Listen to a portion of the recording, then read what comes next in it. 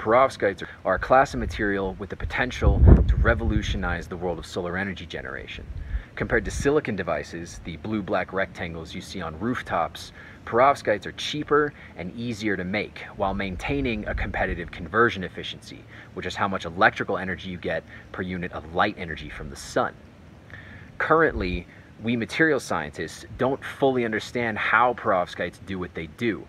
They're very messy material.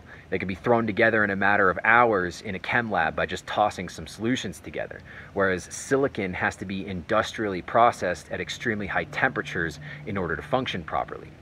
My work as a physicist is to discover, understand, and eventually control the fundamental properties of the material that make perovskites such excellent candidates for solar energy.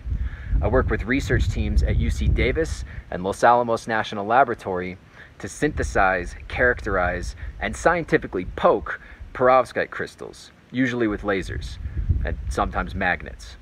Our experiments show us how electrons, the particles responsible for electricity, move around inside the material when you shine light on it, which is the basis for solar energy applications.